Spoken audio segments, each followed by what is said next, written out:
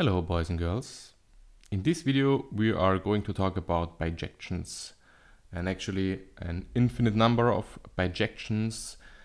For example between the set of natural numbers and the set of pairs of natural numbers. But we're not going to stop there. We're actually also going to look at bijections between the natural numbers and the set of all finite lists of natural numbers and we're going to see actually how that works in just about a minute. Um, mostly I'm going to go through the implementations that are given in this paper. In the video in the last week, I told you I'm going to look at papers on hereditary finite sets by Paul Tarau. Uh, I'm not sure how to pronounce it. Uh, this is a Romanian guy uh, working in North Texas. I'm going to say something about him in a second as well. In this paper, we're going to look at the first three pages really. He has some Haskell implementations. Um, I basically one-to-one -one translated it to the scripting language Python. Um, but these algorithms are so easy that the language basically doesn't matter much.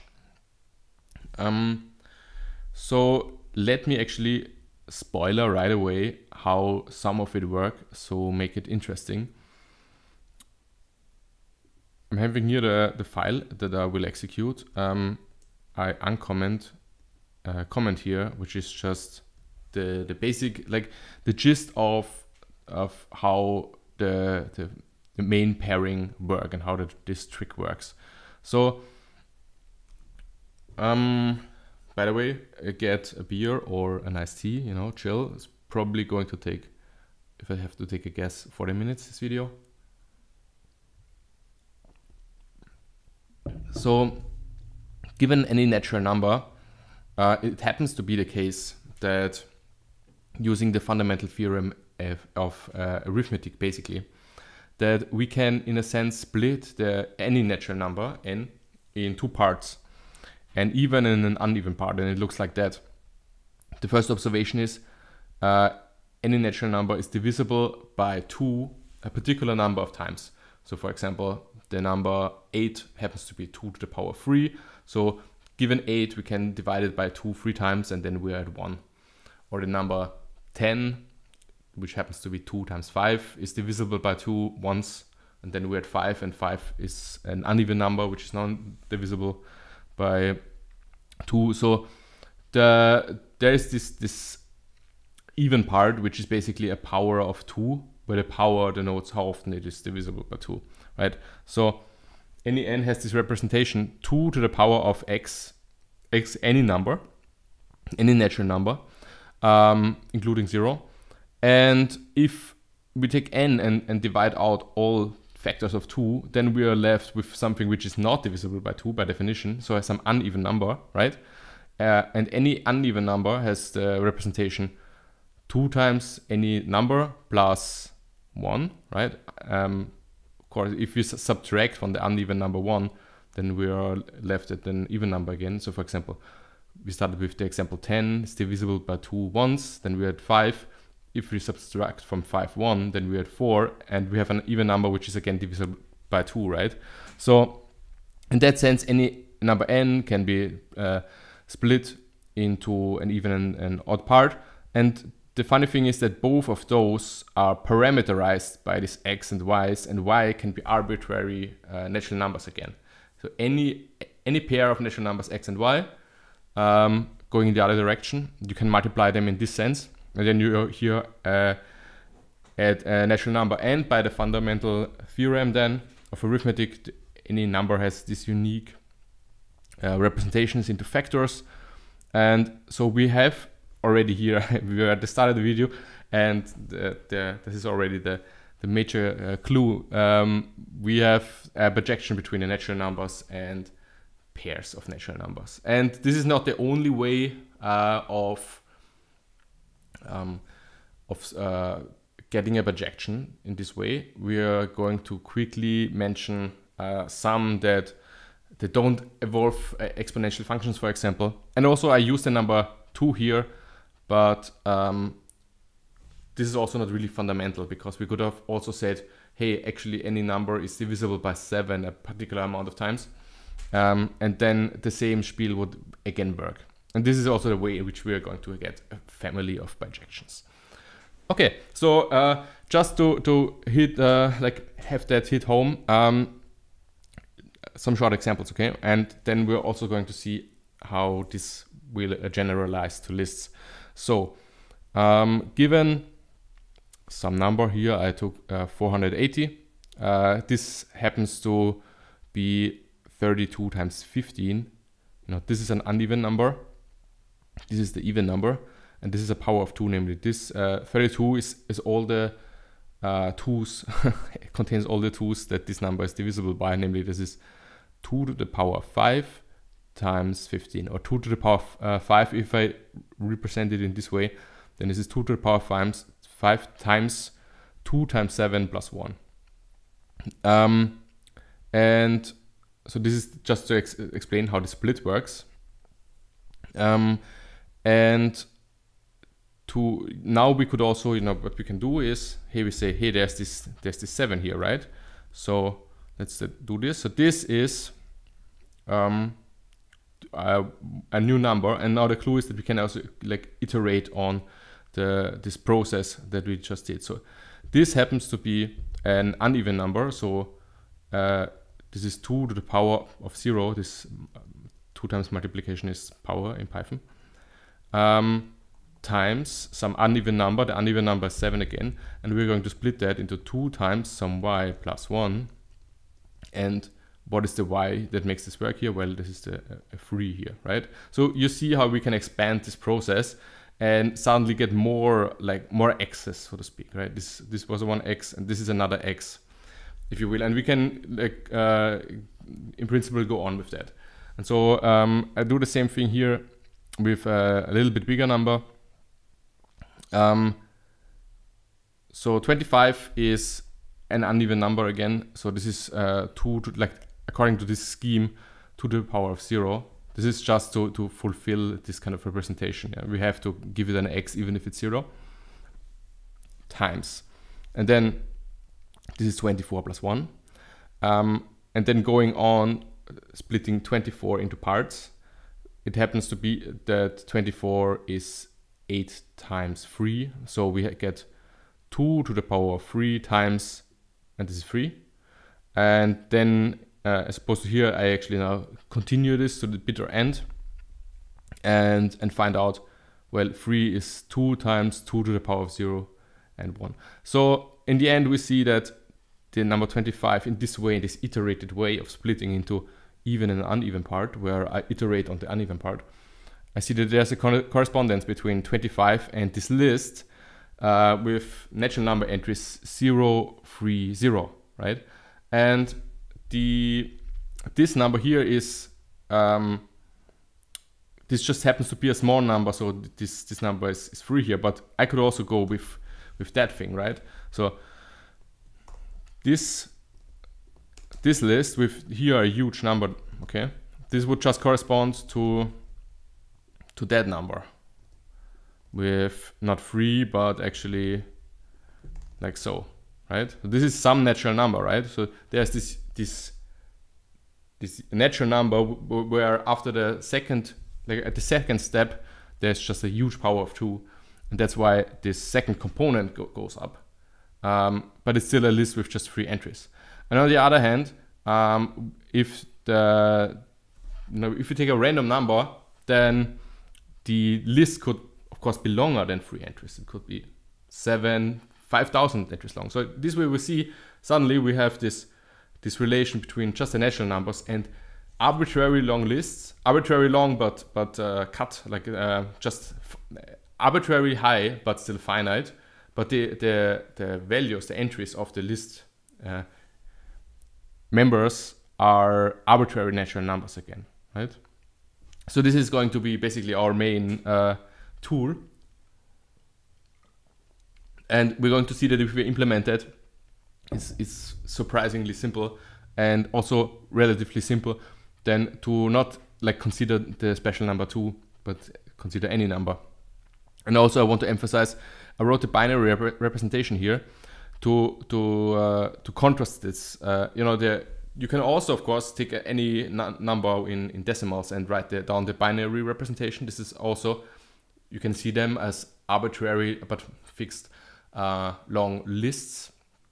But there the entries are from an alphabet of just two different characters, zeros and ones, right? So this is another way of representing in a unique way the natural numbers. Um, but it's a, it's a, different one than here. Um, so we see we, there's various uh, basically all the countable objects have have some some sort of representation in that sense, and in in that way the video uh, will also relate to um, countable ordinals. Although I will not go into depth with that much because I'm not actually going to consider the order much. Uh, and, finally, I have here uh, another uh, constructed example. Given here some super long-ish natural number, I don't know, has probably 150 digits and I find well this is also like I, I think I extended this from from this one here. Uh, this happens to be divisible like this long number happens to be divisible by two five times at first until you get to the first uneven number, um, and then this I think this is the okay I'm not sure what this comment is. Uh, I think this is the first y, but not to confuse anybody, I will delete this for a moment here. Um, and then the this is iterated on the y, uh, and uh, this number is huge because I like plugged in for the second number 40. So this y happens to be has this decomposition. This y is some high power of two times some smaller uneven number, and I iterate on this and I get to 10, and then uh, now I say okay, I leave it at that. Up until this this point, I have uh, five entries and this actually, if I continue the expansion, if I say I, I don't just want to do it to five, but actually go on, then I get a, a little bit bigger number there. Okay, um, yeah, and here the the final uh, note that this does not really depend on on divisible by by two. I could do also do it for other things, and that's also what we're going to implement. So uh, before I go to the the related uh, internet pages and talk about the author of the paper a little bit. I just for the sake of it uh, made a tiny um, demonstration of what you like what this implies actually, which also relates to Gödel's theorems a little bit um, and uh, these matters. So what I have here in this uh, in this uh, Python implementation that I just browsed through, there will be the implementation of this thing, right? This will going to be this function called uh, natural numbers, natural number to natural numbers. This is this function which maps some natural number to all the lists of natural numbers. Um, and what I do here, I have this, this small printing custom function where you pass it three natural numbers and then it writes down, it computes basically how far off these numbers interpreted as, as two natural number inputs and an exponent m are away from uh, like solving uh, uh, Fermat's last theorem. So I, I write, uh, I take a and b, I, I multiply them uh, m number of times, so I take the power of m, uh, and then I see how far off this would be from my solution to Fermat's problem. This has nothing, this Fermat's problem have, has of course nothing to do with the, the video really. This is just an example of an issue that needs three numbers. Um, and I, I use the function that uh, that is implemented to, to split one number into three numbers in a projective fashion. And the, the cool thing about it is then that if I iterate, if I want to iterate over all, uh, for example, all triples of natural numbers, I just need to iterate over uh, like the natural number values for, from one range because I can just say for all n and then split this n into these different parts and suddenly I, I turn it for all natural numbers into a, a succession of, of arbitrary long times uh, for all natural numbers. So, so, uh, what I want to say is that uh, you, with this device, with this computable function, you can write for all n and by an implementation actually have for all like arbitrary long pairs of natural numbers. For example, you can write for all natural numbers and then write down an equation that involves all matrices of um, of natural number, like matrices with natural number entries and, and, write down some propositions. So I'm going to show you what I, what I mean here in a practical example. So this function just prints this thing out, just computes uh, what is the rest and then, then makes a nice printing statement. And here I have this function, I choose uh, base 2, although that's not necessary, any base will do. And then uh, I generate this, these lists. I say, hey, if you are actually a list of uh, with three entries and not more or less, then uh, interpret them as A, B, and M. And then if these are interesting numbers to me, then just make this, this printing statement. And if I actually, voila, so clear, if I actually execute this, what I will do is iterate for all the natural numbers. Uh, I mean, not all, I, I think I go to 10 million and print all these, these statements here. So so, so here he now iterates through 10 million numbers and these numbers are, for example, here 7, 6, and 3. And he writes down these equations and, and shows in every cases that uh, indeed Fermat's last theorem holds. I will never get to uh, a, triple of numbers that matches this equation perfectly. So um, from a logic perspective, what it means is that I just need uh, one universal uh, quantifier to also quantify over expressions where in principle one would need uh, several universal quantifiers. Okay, and before my system runs hot, I will abort this here. Voila.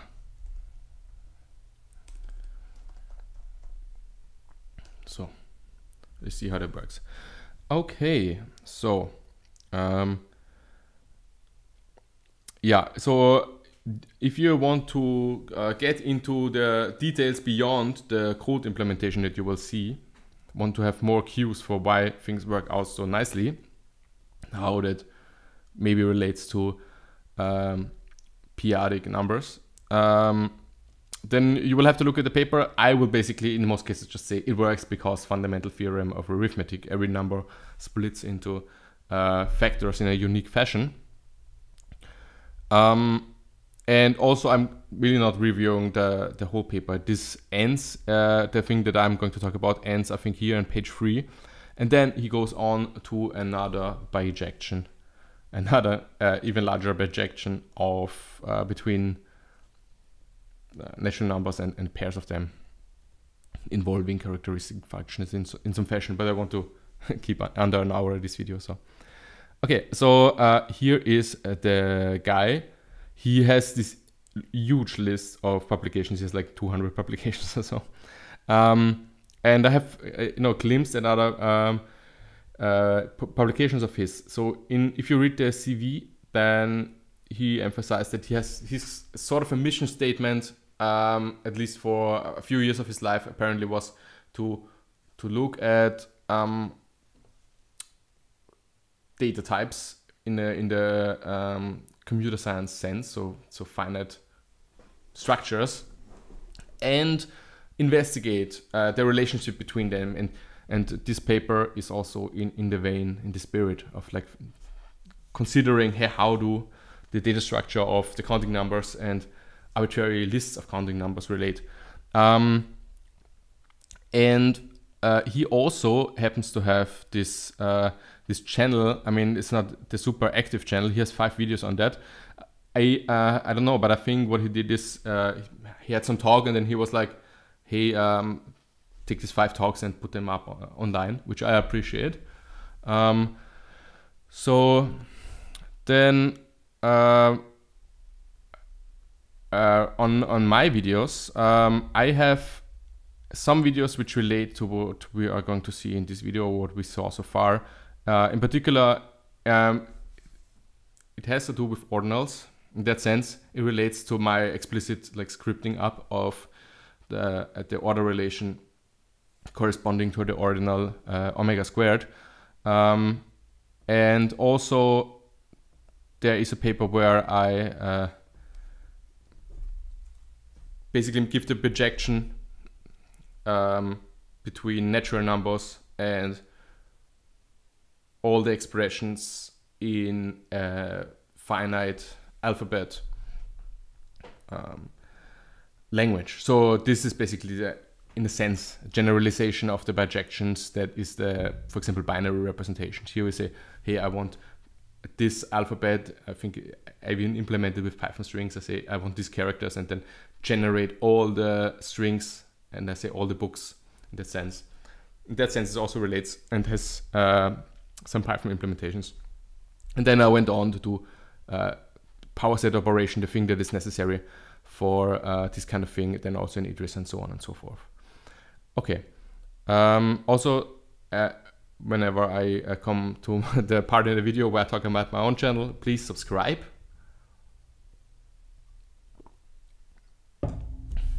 Um, yeah, okay, fundamental theorem of arithmetic. I will not talk about it too much, but uh, you find again all this stuff in the links. This is basically the reason why this kind of thing works. Um, this is just Google. uh, then there is a short site on uh, pairing functions. And I want to emphasize that under pairing functions, uh, people don't always understand bijections. Course, in this video, uh, we speak of bijections. The most famous one is the Cantor pairing function. So, you know, what we saw in this video up so far was this split in even and uneven numbers. There happens to be another function which is uh, related to binomial coefficients um, that happens to be just quadratic, so there's no exponentiation going on there. This has some uh, advantages and disadvantages. I'm not going to talk about this this much, um, and also not about the, the inverse, which is arguably a little bit uglier than what we will see later here in this video. Then uh, I, I like not going to go into Cantor much, but uh, you can Google this stuff up, and there was this paper which um, gives the like it's 10, 15 pages or so, I think, on the details, and also there are some nice uh, generalizations. But again, I will not dwell on the Cantor function so much. Um, then mapping between natural numbers and sequences of natural numbers plays a major role in the uh, arithmetization of uh, logic that is used in the 1930 paper by Turing, uh, where he does diagonalization tricks and so on. Um, in that sense, uh, also relates to this video, what we just saw. Um, maybe here's some explicit uh, tricks Gödel uses. Well, uh, there's also another Wikipedia page just on one of the uh, ingredients, one of the theorems that uh, makes use of the Chinese remainder theorem that is used in in uh, Gödel's papers. Um, but it's something different than what we're going to do in this video. Um, you might be interested in this article on the ordinal arithmetic, especially the exponentiation page. So uh, if you are interested in the ordering of objects related to what you just saw, then you can pause this video and read this this short uh, paragraph, uh, this here, and if I scroll up, that here, then you might Im immediately see how this relates. But again, uh, there are methods of ordering on on this this sort of this sort of tuples, uh, but I'm not going to discuss it here. But here you see like which goes even beyond the omega squared thing that I uh, talked about in the previous video and also in the implementation for arbitrary base. So we talked about division by two, right? If you go to um, different base that relates uh, for, especially for the prime numbers to the order. This will be an ingredient in the algorithm in the paper, as we will see, um, which relates in turn to the norm on the p-adic number, which is another way that you can complete uh, numbers that is not like the real numbers. Okay. Um, you will see how to compute that, but, but, I will obviously not talk about, uh, you know, Scholze, Scholze kind of things. Um, not going to talk about analysis at all. Um, okay, so uh, let's step through the code. I already uh, commented, I already ran through all the links. You find them in the in the bottom. I start the script out by, uh, as I had done in other videos, uh, these tools which let you print in colors, which I recommend. I'm not going to explain that though. Um, and here, what I do here is, um, just for display's sake, I, I, wrote a small, not super pretty function, but it does its job, which um, basically uh, you give it um, uh, any function. You know, this will be our inverse of the projection that we just saw. So this will be the function which takes two numbers and returns a natural number. And then I loop on uh, in the one dimension, in the y dimension to 12. You can we can also change this. We can also go to 13 or anything. Um, and in the x dimension to 10. So we're going we're going to build a matrix um, of this size. You know, roughly uh, 10 times 13. Um, and then we're just going to print it in a, in a neat kind of fashion. So we, we can actually see um, what the different pairs are mapped to and, and, the other way around. Okay, so I, am not going to dwell on this function. This is straightforward, uh, making use of Python printing functionality and uh, like doing the line breaks and in the right point to make it actually look nice. Um, and then, you know, as a warm up before we go to the general case that that uh, abstracts away from the number two. Here is uh, exactly this uh, implementation of what I demonstrated at the beginning of this video. I call it uh, two are cons uh, because to some part um, I take the names that, that, he uses here and he speaks about con, you know cons is uh, when you form lists. Um, and uh, two-artig, this is related, like in case you're, that's not your lingo, lingo franca, uh, relates to the base. Um, so what do we, do we do here? Okay, this is the, the inverse way, right? We take an x and y and compute one number. We construct the uneven part, which was given by 2 times y plus 1. And the the the r r is always my my result of the computation. R is then the even part, and I could also call this e. The even part is this power uh, that the size is determined by x, and then I multiply, um, and I get a natural number. Okay, and then I print it. I will here uh, uncomment this exit, so it will stop at this point, and we're going to see what comes out here. So if I run the script, Hola, this is a little bit too okay. It, it works out, although uh, he breaks the line. So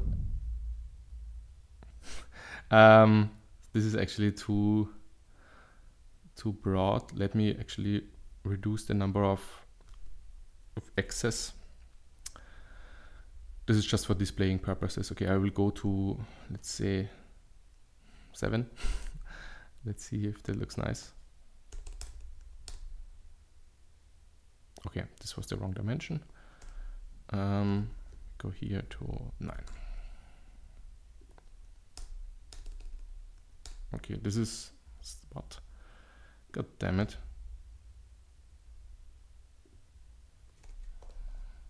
So obviously, like, uh, when I present this video, then what uh, what you see is only uh, like one part of of my screen, right? So that's why uh, when I was coding it up, I had a little bit more display room. That's why I didn't think about making this smaller.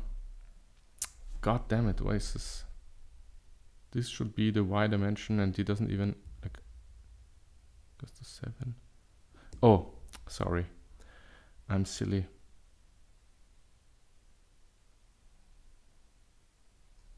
I'm I'm very inconsistent here. So this is da, da, da.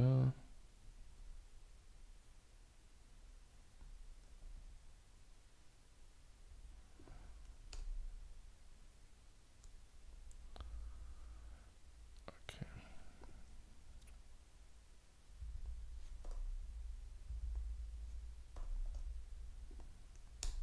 Okay, now I have it. Sorry for that. Okay, so um, this is now here we we understand the the projection actually. Um, if x is zero, right, then these are just the numbers that are not at all divisible by uh, 2 from the start. So these are actually, by definition, the uneven numbers, right? So if x is, is 0, then this is 1, uh, 3, 5, 7, 9, and so on and so forth. And now, if we go with x once higher, then we get all the numbers which are divisible by 2 exactly once, right? So the numbers which are divisible by 2 exactly once are 2, 6, 10, uh, 14, and so on. So by the nature of it, what we have is that the first row is the uneven numbers and the second row is then just the uneven numbers and then each number just multiplied by 2. And then the second, the third row is then each uneven number multiplied by, by 2 times 2, so by 4. And so on and so forth. And so you see how all the natural numbers by, by this bijection are put into a, a, a grid, right? So here we can really nicely see our 1-1 correspondence. It's kind of obvious because, uh, sure, every um, every uh, natural number has an uneven part. For example, uh, seven. You know, and even if the uneven part is just one. Uh, but in this case, for example, seven, and then apart from the uneven part, then there's also a number of powers of two that are in that, and in this way we obtain everything because the uneven part is exactly what remains if we kill out all the twos. okay, I'm just repeating myself here, but so this is how this looks like. And um, next up, uh, I'm going to show you then this Cantor function that I spoke about, right? This is a different bijection because it uh, involves no uh, no exponentiation, uh, but it happens that there is also this this uh, just quadratic, it grows quadratically in, both x and y direction. Um, and it still works out that you can find a bijection. Um, and then there's, you know, there's then some theorems that really restrict uh, how much, how many bijections can there be, um, or different bijections of the of the form. Although I want to emphasize that once you have one bijection, then you can concatenate them, of course, and then you get another one. But okay. Um, so how did it, the, does that look like? Well, uh, in uh, the Cantor function that I also like here coded here is you you you take this the pair like you, you sum x and y together and then square it effectively. You know you have this uh, plus let's say p for plus x plus y, uh, and then you you multiply it by itself, shift it by one, uh, divided by two. By the way, if you see this sign, this is the uh, division um, into the into the integers. So there's no cannot be any any rest so for example, 8 times uh, uh 8.5 divided by 2 would be 4. The rest is killed. Uh, and you, you, take the square and then um, you add x or y, one of those. And uh, so the interesting thing is here that this function again is just quadratic. It doesn't have 2 to the power or, some number to the power of an, an, another number, right? Um, and this actually also then can be generalized in a way in a different way than what we saw before to, to the tuples. Actually, there's an explicit bijection then between the natural numbers and the tuples of any uh, chosen uh, size. So this is another sort of um, map between uh, collections of natural numbers, um, and that involves talk about binomial and so on. Here I implement a factorial function, a binomial function, just by hand to, to show you that this Cantor function can also be written as the sum of binomials, and this is the way in which it generalizes. Well, look at the paper that I linked and don't want to talk about the Cantor function in this video. What I do here is just I, I demonstrate for some numbers uh, for the pair three and uh, two and three, and for for this pair that these two implementations, the quadratic, the explicitly quadratic one, and then this binomial one, which is also it's the same polynomial, right? It's actually the same result. Um, and then what I do here is I, I, I, don't only verify that there's this two ways of writing down the Cantor function, Cantor pairing function. I also print then this matrix. So let's have a look at that. I will shortly comment on it and then we are beyond uh, function. Okay, so um, this is this is uh, the, the, the second bijection that we'll look at. This is the Cantor function. Right? The, the, above one, this was the, the power of two version. Um, this is this completely different um, bijection. and just to to like maybe understand it better, um, while the above uh, projection that we have previously looked at, you know, this is this one, has the the feature that uh, we have a linear growth in the y direction, right?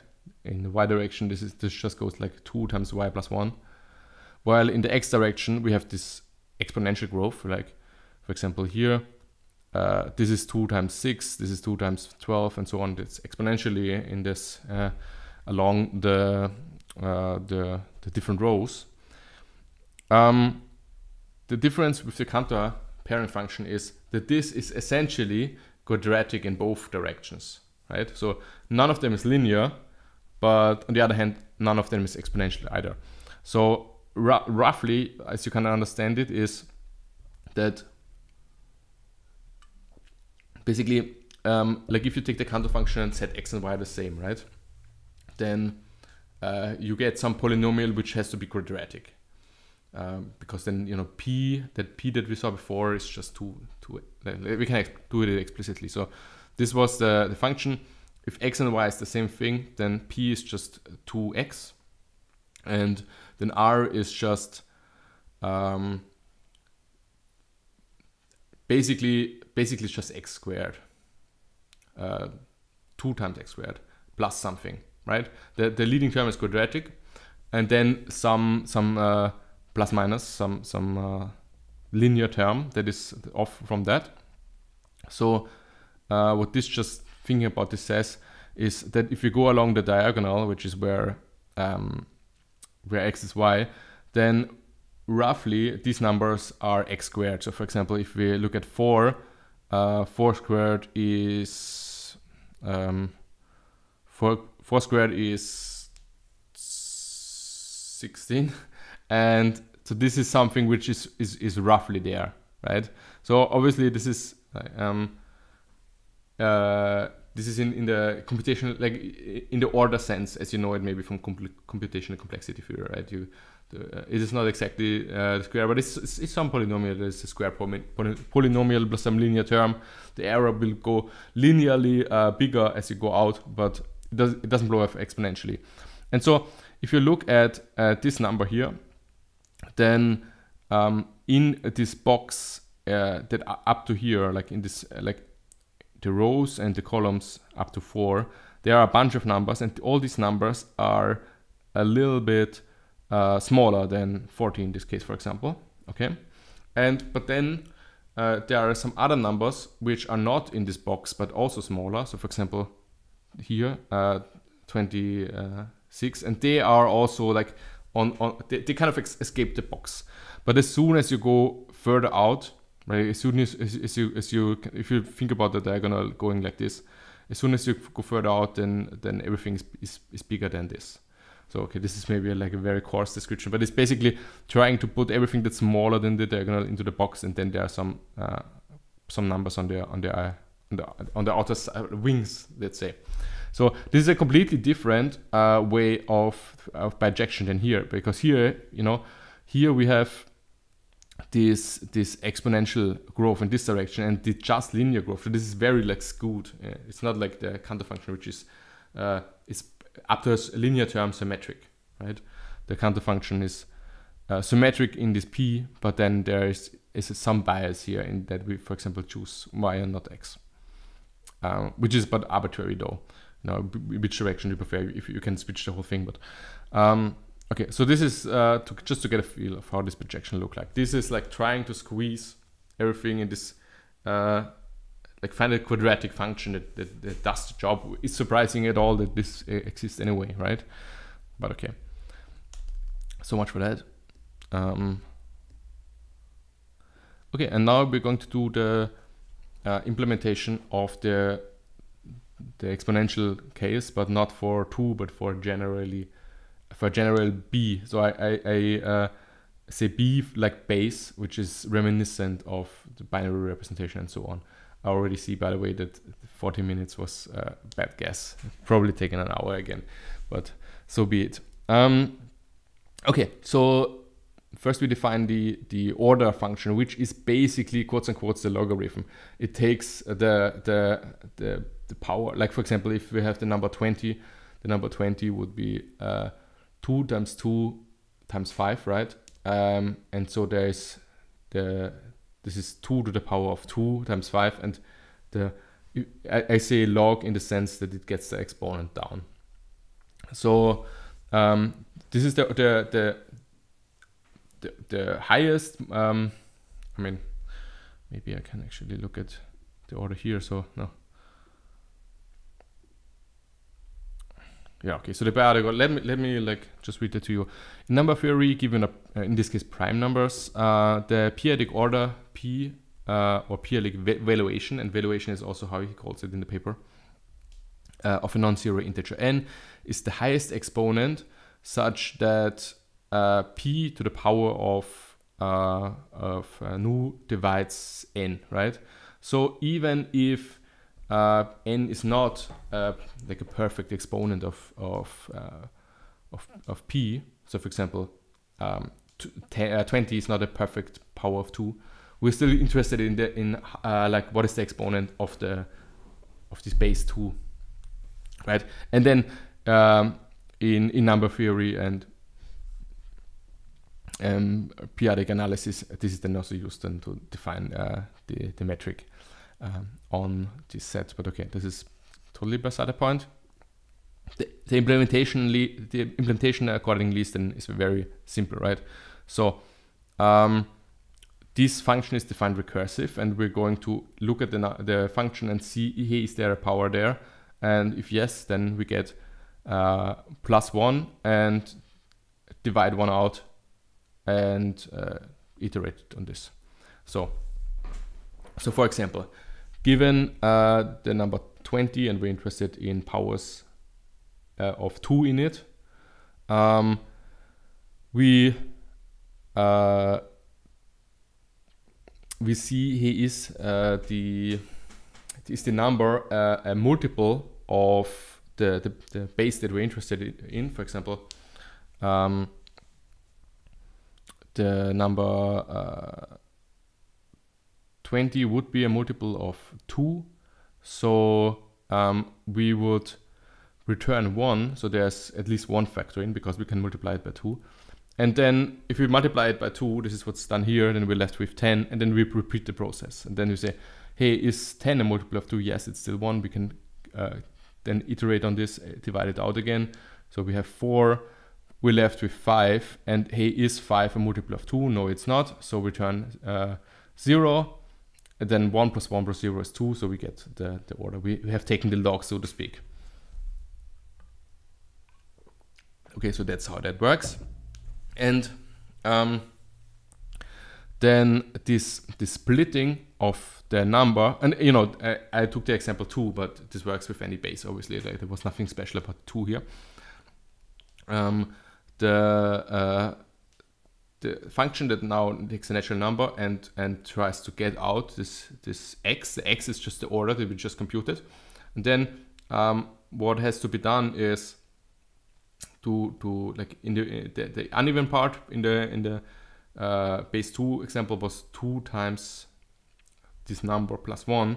And now this has to be generalized in some fashion, right? And it happens that uh, this this works out and the algorithm goes like like so. So first you take the, the you find the power of the base that you're interested in. This is just the ORD function that we just implemented. Okay. Then naturally you take this n and divide out this. Like for example, uh, in that in those examples, uh, let's take this for example. So here we would have to divide out uh, all powers of two. So we would divide out. We would first compute the order. The order is, is five uh, for base 2 anyway. Then we divide it out. We take this number, divide out to the to the power of um, 5. Then we are left to, with, with this object, and then we have to query the this, this y parameter out of it, right? So um, yeah, so we divide it out. We, we, we, get some y. This is not yet the y that we're interested in because now it's it's not not uneven like it's not uneven numbers anymore. It's like something more complicated. It's not just every second uh, number. Um, what we're interested in is the plus one. Uh, the, the plus one was this this sort of remainder object that is now generalized uh, uh, to this. So we take this number, we we, we compute the, the what the what the difference is between the basically the new.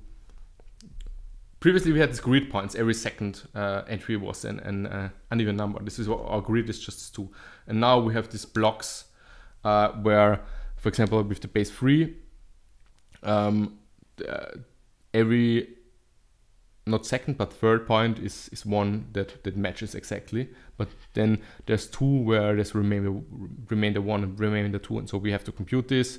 And you will see in a second how this turns out then in the the matrix grid again. But in this way is clearly the the way to to uh, to split off the, the the remainder from the the full full multiple.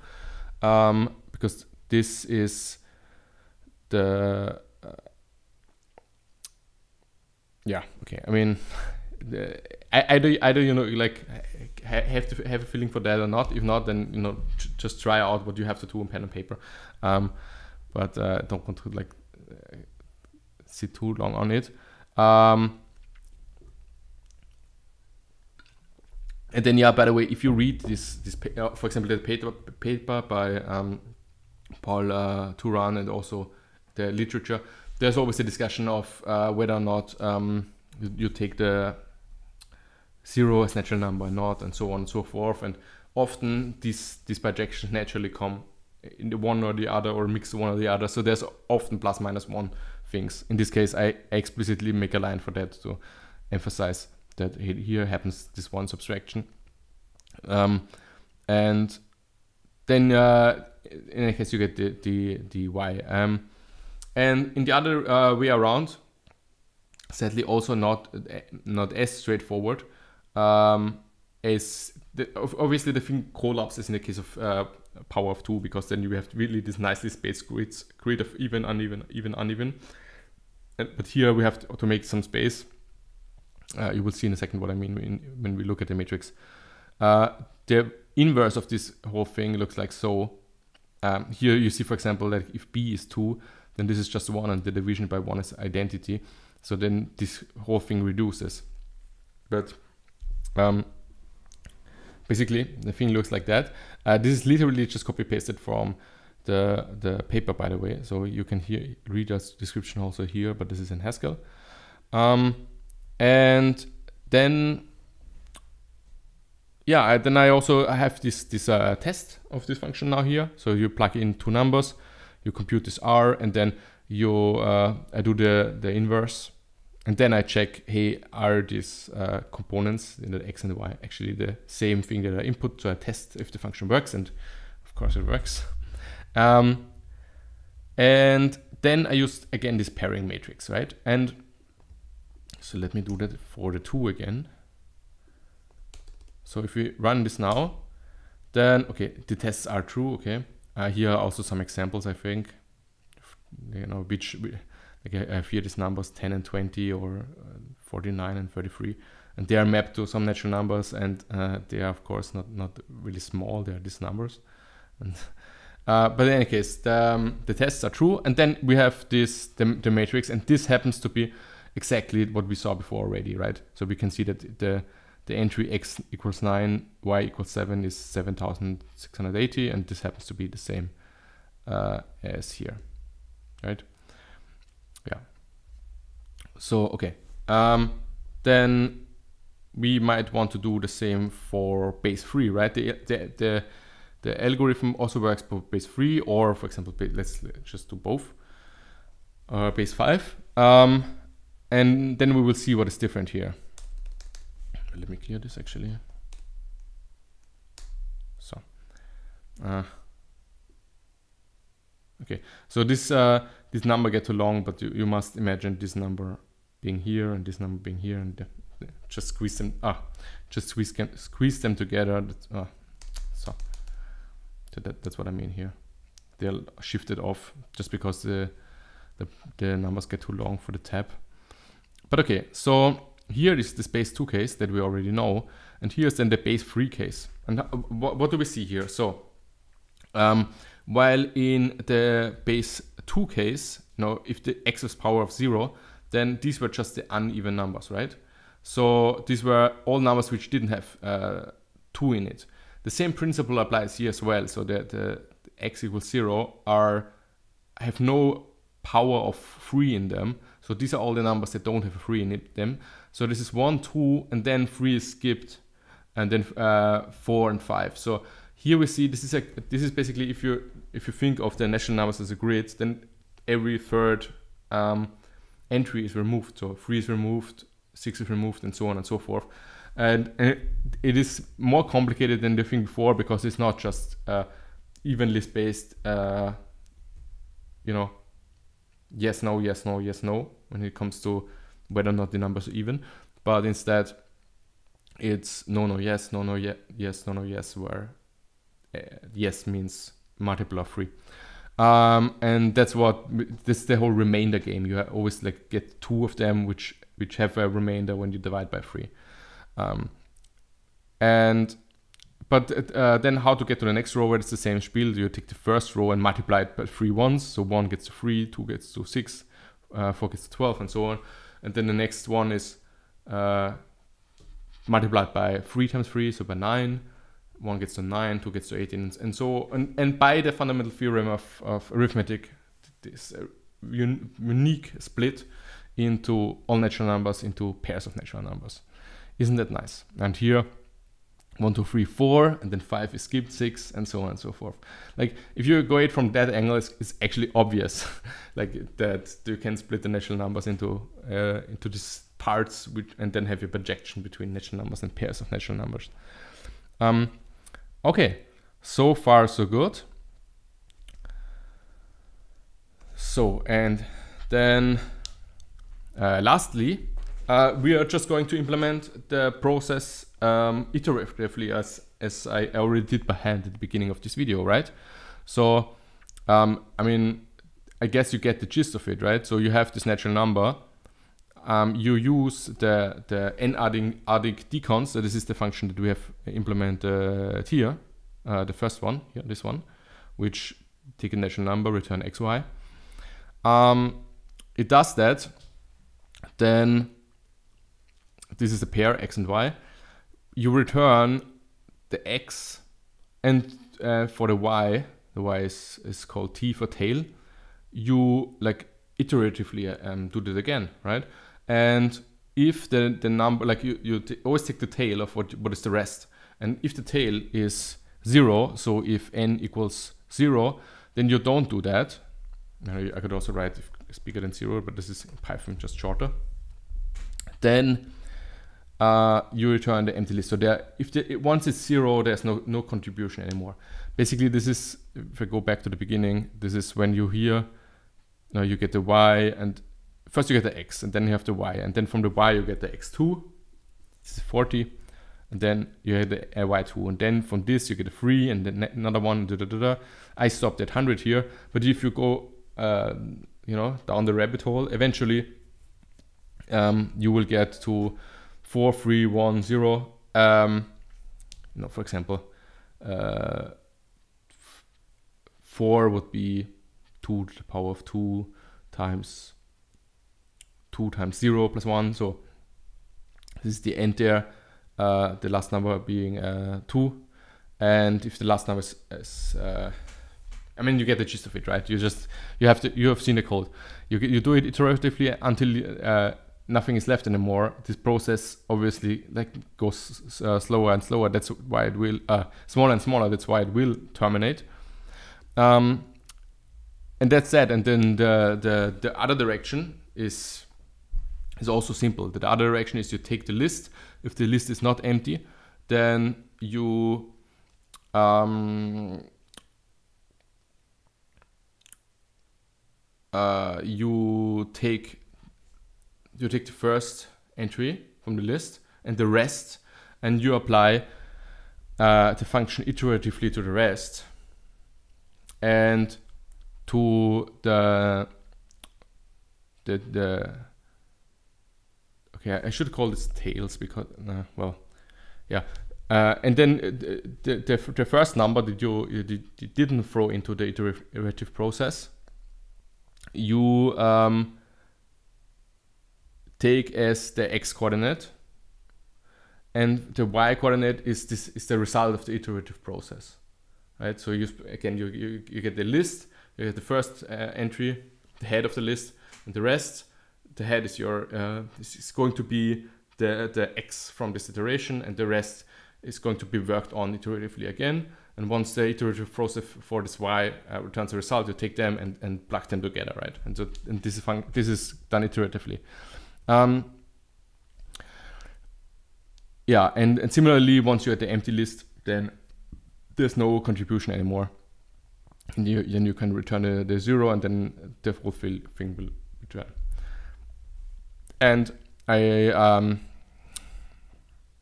I give some examples. So let's evaluate this.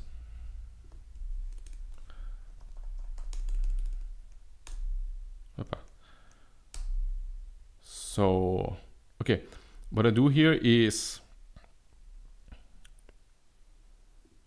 um, I go with n from 0 to 35, then these numbers from 0 to 35, and I look at the result of these lists of uh, natural numbers in base 2 and 3. And the, the base 2 I, I plot in green and the base 3 I plot in red. And so we see, for example, um, 0, then you know if it already terminates and you get the empty lists. Um, these all look similar, but okay, let's actually go to, for example, number 16. Number 16 in, in base um, 2 is 2 to the power 4, so that happens also to terminate very quickly. This is just a list containing the 4. While in with the um, b equals 3, you know, you see, okay, uh, you know, I would have to think about what this is, but uh, I mean, here's the result, right? Apparently, uh, 16 is is not divisible by 3, that makes sense. Uh, but um, and then you can you have to split it off according to the algorithm and uh, if you do that, you get to the, the insight that 16 corresponds to this list with 0010, right? Um, I suppose you can also, we might be able to read it out from the grid uh, in some fashion for the first iteration. So this is base 3. The number 16 is uh, so a bad example because it's not divisible by 3, so it's somewhere here. Let's actually go to one which is a little bit so 22 in, no, yeah, 24 is 3, 0 or 1, 0, 1. Okay, hopefully remember that. 24, let's first go to base 2. Um, is here in the third uh, column because it's it's 8 times 3 right? Um, so it's 3 and then 2 to the power 3, so it's 3 rows down. Okay, this is this case. While in the um, in the case with base 3, it's it starts with like it's it has a factor 3, right? It's divided divisible by, by 3, so it's in, in the, this row 1. Then what we are left with is 8, um, which is not divisible by, oh, that's too complicated for me in my head. uh, but okay, you in principle you can could not jump ar ar around on, on the grid, right? But you would have to iterate it and you keep that in your head. Uh, I promise it all makes sense. um, okay, but I guess the logic is clear, right? The, you, you just take the order as, as, as the axis and you iterate it and you get a bunch of x's. Um, okay, here then I, I test it a couple of times. Like I uh, have this process where I take a natural number, I, I, I, print it to a list, and then I go in the other direction and check if it's still the, the right number. Um, and here this is in the other way around, where you put a list in and uh, go to a number and back. And if you run that, of course, because we will see everything is is fine. I even print this. So what do I do here actually? what do I print here? Let's actually let's actually uh, print the natural number n. Okay, so we see that the which, what is the color here? Oh, okay. This some uh, okay. It prints it as well in.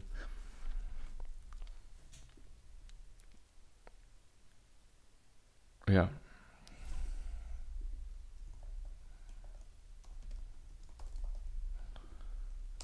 This is just for me to find it. I'm, I'm a little, little, bit surprised that he prints it in white, even though I don't specify white here. This must be, well, so be it. um, so here we see, for example, that the number 2012 uh, is mapped to, to this expression. I have 2012 here because I think um, he wrote it in 2012 and he gives this example here as well. So again, this is really, I, I just directly translated this Haskell code to Python. That's why it's exactly the same, even the examples I stole. Um, and yeah, that's basically it, right? So uh, I can go back to this example, right? Um, printing the first 100 million now, uh, numbers uh, translated into base 5. Um, the problem is if I go uh, on with the base, then it might take longer actually, because then it will. It goes in the one or the other direction. I will uh, let's go with base three. Uh, 10 million numbers. Uh, go back to, to print this these examples of you know uh, go through all these numbers and I, I, make lists out of them in the same process that I now described in some detail. Um, and this way I can iterate over just one number, like one slot of numbers, and actually like behind the curtains iterate through lists of all, all numbers which is really fancy. The problem is that if you take these higher uh, powers then the, he will go for uh, obviously different uh, lists and it might take longer to find uh, things that are of interest to me because I, I fuck, like I remove some. Uh, numbers that are not so interesting for this Fermat's problem thing. Okay, uh, I keep talking. Um, I think I will leave it at that. I hope that was not too long-ish. You know, I could, uh, I could uh, be more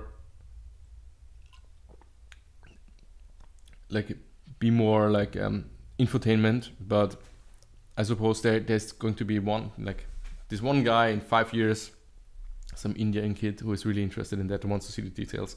We can get to this video and see a little bit more than he would have um, if I would just make infotainment videos. Um, if you're that Indian kid in five years in uh, 2025, then please leave a comment. okay, and we see some numbers coming in here.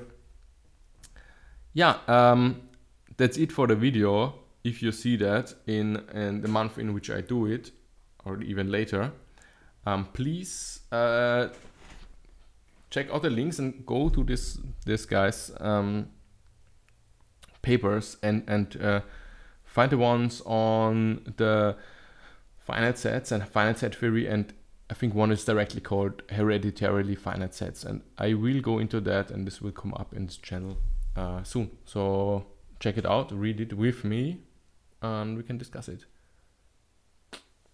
Take care